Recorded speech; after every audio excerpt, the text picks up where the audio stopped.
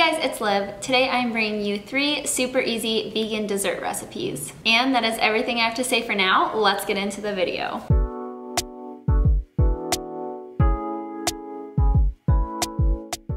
The night before you want to make this, freeze a whole can of full-fat coconut milk in a freezer bag so that it's flat and easy to break into pieces once it has been frozen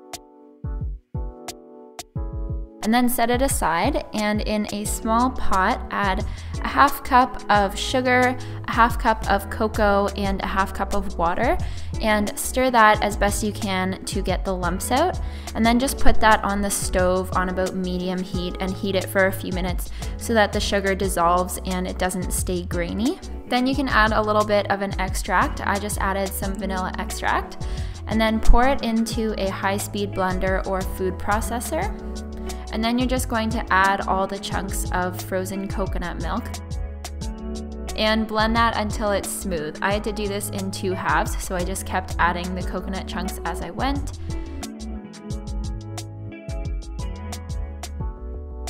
And then once it is all smooth, you're going to pour it into a loaf pan or a baking pan or even just a container and smooth out the top.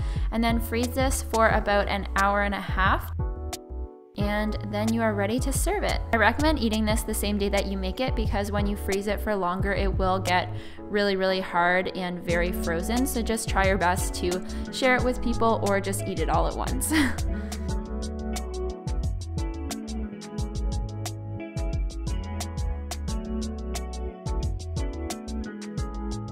In a bowl, add a quarter cup of vegan butter, a half cup of sugar, and just mix those together until they're combined.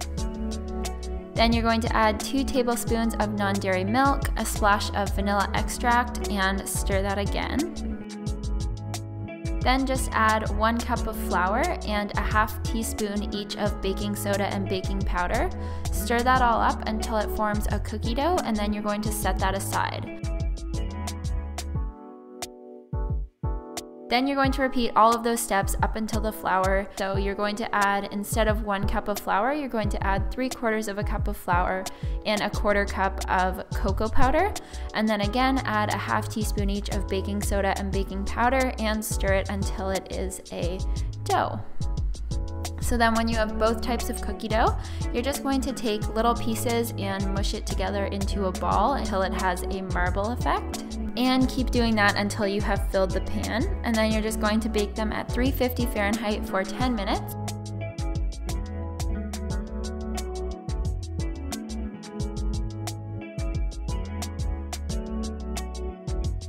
When they come out, they should look like these perfect marbled chocolate and vanilla cookies.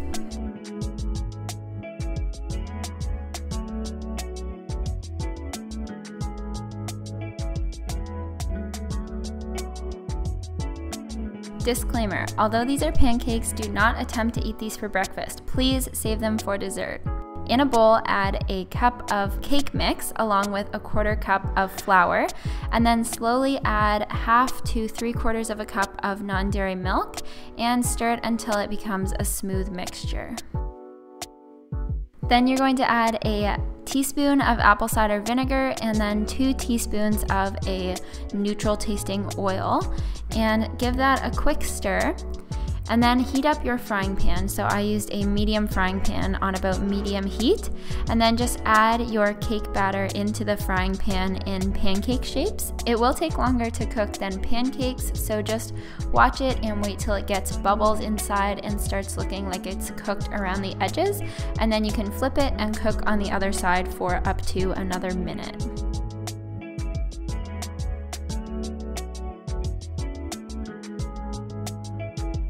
So to serve them, I just made a glaze with powdered sugar and non-dairy milk, and I added some sprinkles on top.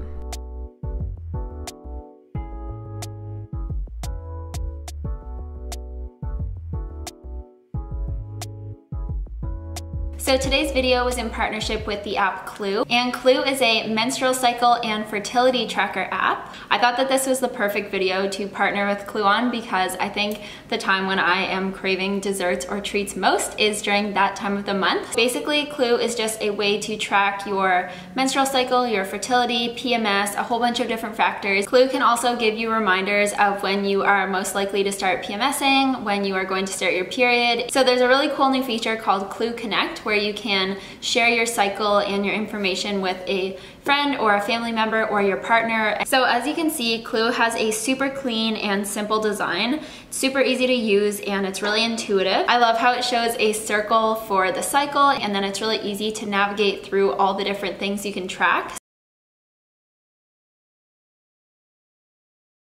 So thank you so much for watching this video. I really hope you enjoyed it. And if you make any of the recipes, make sure to take a picture and tag me on Instagram at Liv's Healthy Life. If you haven't already, make sure you subscribe and give this video a thumbs up if you liked it. And I will see you guys next time.